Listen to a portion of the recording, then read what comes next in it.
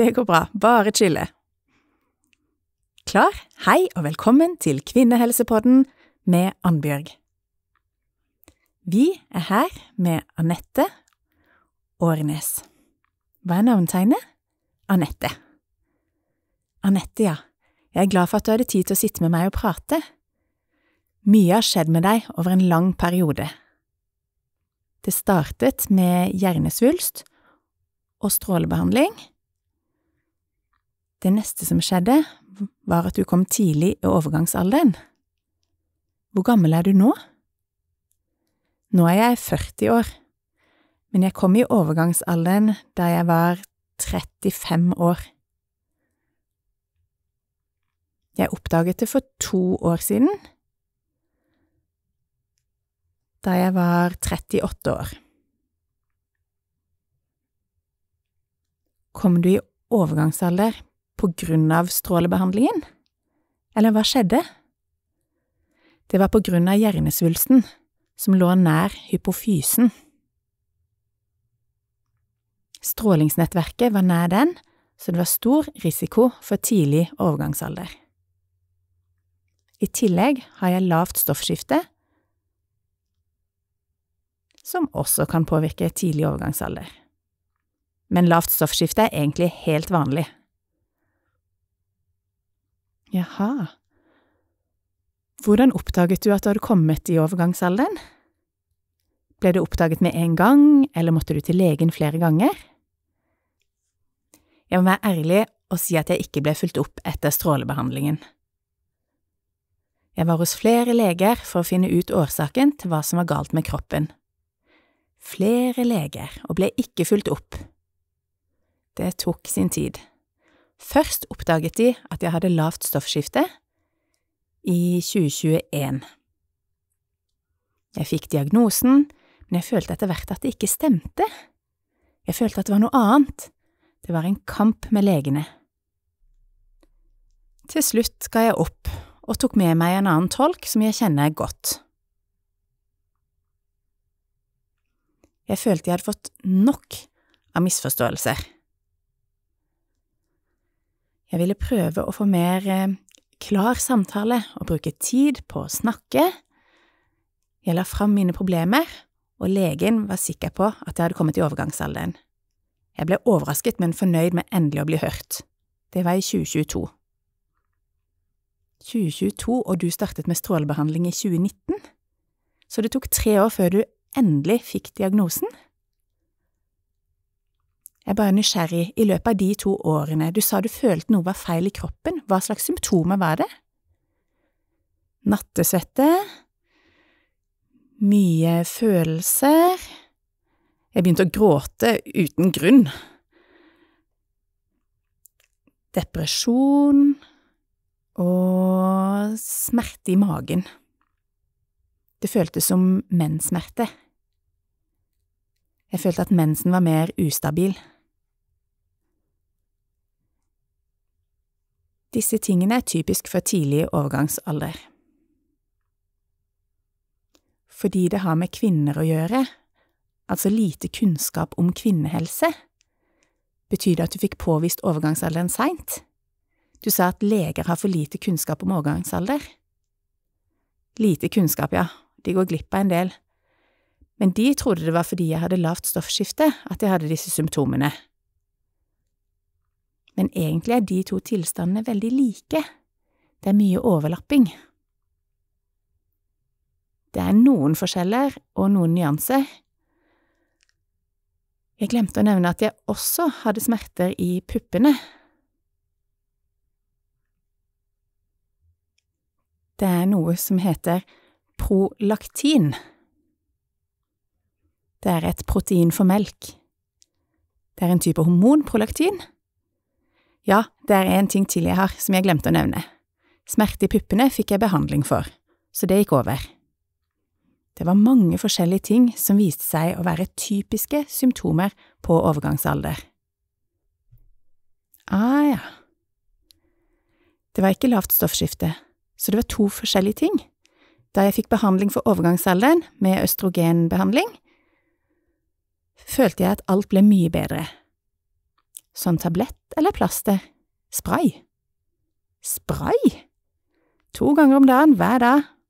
Alt ble supert. Alt ble som normalt igjen. Så er det altså for mye, eller var det for lite hormoner? Du hadde for mye prolaktin, eller var det for lite hormoner? Det kan være forårsaket av overgangsalderen, at jeg har for mye prolaktin. Men jeg vet ikke, det er for lite forskning på dette, så jeg vet ikke hvorfor. Ja, jeg leste kjapt at eh, hvis jeg husker riktig, for mye prolaktin kan påvirke kroppen, og spesielt brystene. Det kan også påvirke leveren, videre. Men jeg så også i utredningen om kvinnehelse at det er lite kunnskap om akkurat dette. Det må løftes opp mer. Men jeg lurer på det med lite kunnskap om kvinner. Du sa du opplevde kommunikasjonshindringer hos legene. Til slutt måtte du ta med deg en tolk du følte deg trygg på for god kommunikasjon. Hvorfor akkurat den tolken? Jo, jeg har opplevd tidligere å få diagnose på hjernesvulst for sent.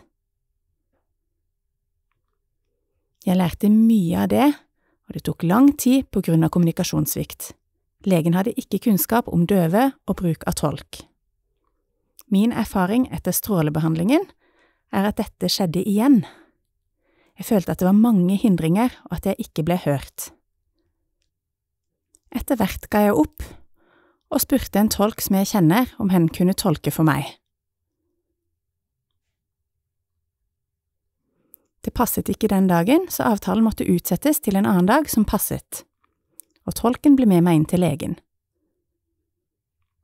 Før samtalen startet, var jeg klar og tydelig på hva som var viktig for meg – å bruke tid på kommunikasjonen. Jeg hadde ikke lyst til å oppleve kommunikasjonssvikt igjen, som tidligere. Det er viktig å bruke tid på å snakke og avklare misforståelser. Jeg trenger tid. Legen gikk med på det. Da ble resultatet at det gikk bra. Da ble jeg hørt, og riktig diagnose ble funnet. Da fikk jeg riktig behandling. Du føler du fikk riktig behandling fordi du informerte legen om at du trengte mer tid til god kommunikasjon, samt riktig tolk. En tolk som har riktig kunnskap og god flyt. Tolken må være trygg på å tolke i helsetjenester. Det er ikke lett for mange tolker, for det er kompliserte medisinske uttrykk. De blir nervøse. Jeg har pratet med flere tolker som har sagt at de føler seg utrygge på å tolke på sykehus. Vet du hvorfor de føler seg utrygge? Jeg spurte dem om de følte seg trygge på å tolke på sykehus, og de svarte nei. Jeg spurte hvorfor de tolket der. De svarte at Nav beordrer dem til å ta tolkeoppdrag på sykehus. Tolken var enig i at det er best at tolkene har kompetanse innen medisin, for det er viktig at de føler seg trygge. Ja, jeg forstår det godt. Når jeg skal gjennomføre en jobb, vil jeg gjøre det på en god måte. Jeg vil føle meg trygg på at jeg kan gjøre en god jobb. Hvis jeg møter opp med null forberedelser og møter ukjente begreper, kan jeg bli usikker på om jeg gjør en god nok jobb. Det er et stort ansvar å tolke, så jeg forstår det godt. Men litt tilbake God situasjon hos legen, si fra på forhånd om kommunikasjon samt at legen var positivt innstilt. Var det samme lege som diagnostiserte deg sent, eller en annen? Det var forskjellige leger. Jeg er nysgjerrig, du nevnte at du fikk diagnose for sent. Hva skjedde? Hvorfor fikk du forsinket diagnose? Jeg ble blind på det ene øyet i 2017. Sent i 2017. Jeg ser veldig dårlig, men jeg følte at noe ikke stemte. Så jeg dro til øyelege på sykehuset, flere forskjellige leger. Jeg tok med samme tolk hver gang. Hver gang fortalte jeg at jeg var plaget med forskjellige symptomer, men jeg ble ikke hørt. De fokuserte bare på at jeg er retinitis pigmentosa og mente det var derfor jeg ble blind. Jeg følte at det ikke stemte på grunn av kommunikasjonssvikt. Sånn fortsatte det, og til slutt, sommeren 2018, følte jeg at det ble alvorlig. Statped oppdaget at det ikke skyldtes RP. Det har med Usher-syndrom å gjøre. Riktig. Blindheten var ikke relatert til det, de mente at jeg hadde en blodpropp. Jeg ble overrasket, for jeg var jo ung, 34 år, så det kunne ikke være det. De anbefalte akutt henvisning til sykehus. Jeg kontaktet fastlegen og ba om henvisning, men den ble avslått fordi jeg har RP. Jeg måtte kjempe. De ba om henvisning på grunn av blodpropp, men det ble avslått fordi du er døvblind. Det henger ikke på greip. Ja, så jeg ga ikke opp og ringte direkte til sykehuset. Endelig svarte de at jeg kunne komme om to timer. Da ble jeg hørt, og de brukte tre timer på utredninger. Legen mistenkte at det kunne være blodpropp, men en kollega mente noe annet. Da ble det til at jeg gjennomførte MR. Det var da de oppdaget at jeg hadde hjernesvulst. Legen innrømte og beklaget at kommunikasjonen hadde sviktet. Men det var for sent, det var ikke mulig å redde synet mitt. Det ble jo forferdelige konsekvenser for deg. Jeg lurer på hvordan opplevde du kommunikasjonen med legene gjennom tolk? Hvor eller hvorfor sviktet kommunikasjonen? Et eksempel som jeg har opplevd inne på legekontoret, er at tolken satt på den ene siden og legen på den andre. Jeg opplever at legen ofte er veldig opptatt av å skrive på datamaskinen og se på tolken. Hører på tolken, men ser ikke på meg. Så jeg beskriver hvilke fysiske symptomer jeg plages av, men legen følger ikke med. Hun bare ser forbi meg. I tillegg går lyset av og på, som gjentatte avbrytelser, så da oppfatter jeg ikke alt. Det blir stressende, for vi har så kort tid. En standardkonsultasjon varer i 15 minutter. Det varer ikke lenger, så da blir det fort inn og fort ut. Det blir en hindring. Ja, så det resulterte i at du mistet synet på det ene øyet. Du har vært gjennom rettssak og fått pasientskadeerstatning, ikke sant? På grunn av kommunikasjonen? Ja, jeg var gjennom det nylig, i vår. I saken sa øyelegen tydelig at det hadde blitt oppdaget tidligere hvis det ikke var for kommunikasjonssvikten. De hadde heller ikke kunnskap om døve eller bruk av tolk. De trodde at tolken blander seg inn, men tolkens rolle er å være nøytral. De trodde at det var tolkens ansvar å gi beskjed til legen. De trodde at tolken hadde ansvar for å si fra. Ja, det skal ikke være sånn. Det var derfor jeg bestemte meg for å få inn en sakkyndig person. Det refereres til i NOU-rapporten Tegnspråk for livet. Hun heter Marita Løkken. Hun var sakkyndig i saken og la fram at rapporten sier klart og tydelig at det er legen som har ansvaret for å bruke tid på å sikre god kommunikasjon. Det ble også tydelig avklart hva tolkens rolle er, og legens ansvar for å tilrettelegge mellom meg og tolken. Det var virkelig helt ny kunnskap for dem. Det var tydelig at kommunikasjonssvikten skyldtes feilinformasjon i journalen. Akkurat. Jeg tenker, helt fra starten, da du merket at noe var feil, og det viste seg å være hjernesvulst, frem til nå med overgangsalder. Det har vært mye imellom. Jeg oppfatter det sånn at mye hadde med kommunikasjon å gjøre. Kommunikasjon, ja. Samt kunnskap om kvinnehelse. Men hvis helsetjenesten i dag skal bli bedre, hva er det som trengs? Jeg ønsker at leger skal være mer bevisste når de innkaller døve pasienter, og bruke ekstra tid. Én time, minst. De må også ta ansvar for å tilrettelegge for tolken. Hm, ja.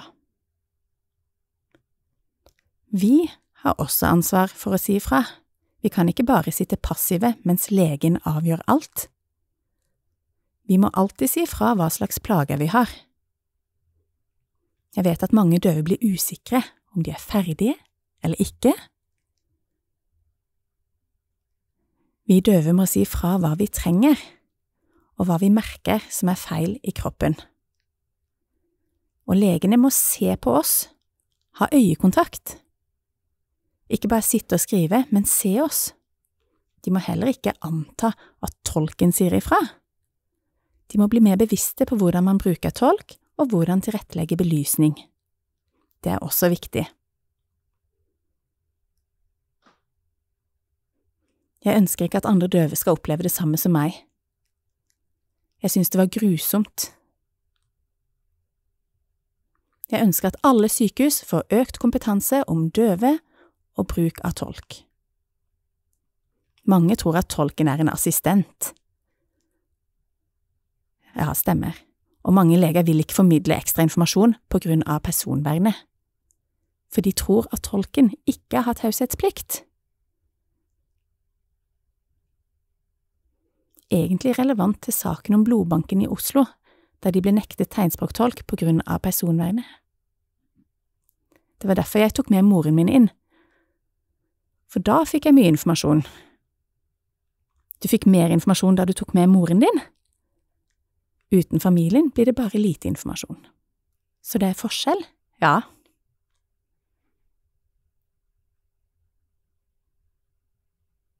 Tusen takk, det skal jeg ta med videre.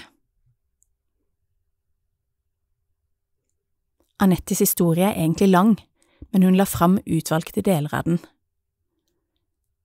Det jeg leste i NOU-rapporten om kvinnehelse, er at mange kvinner måtte kjempe fordi de ikke ble tatt på alvor. Anette måtte ikke bare kjempe for å bli trodd, men også for å bli hørt via tegnspråktolk. Det er interessant, for det står i rapporten at kvinner fra forskjellige sosiale kategorier ofte opplever mer hindringer. Minoriteter, språk osv. Hva jeg tenker det betyr, er at døve og døvblinde tegnspråkbrukere møter flere barrierer. Resultatet ble at Anette fikk forsinket diagnose og mistet synet på det ene øyet. Vi må altså løfte frem mer kunnskap.